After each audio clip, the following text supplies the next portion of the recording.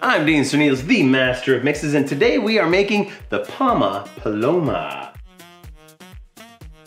We are starting off with the lemon, lime, and orange, and we're going to press the juice out of the lemon, lime, and orange, just like so. We just want to press the juice. You don't have to press too hard or too long, because we don't want to get into the rinds and pull the bitter flavors out of the rind.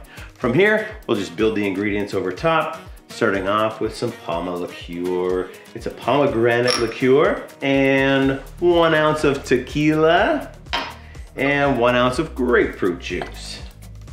All those in, some ice cubes, but let's not forget the agave syrup from Master of Mixes Cocktail Essentials. Just half an ounce of agave syrup. Gonna sweeten that up a little bit, bring some great earthy notes into this cocktail.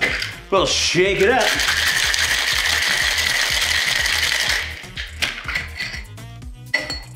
And straining over fresh ice into a tall glass. Getting all those great flavors come together as one, and we top it with a little lemon lime soda, bring some effervescence into this cocktail, and garnish with some fresh orange. Get in there. All right, lemon and a little lime on top. And here we have the Pama Paloma.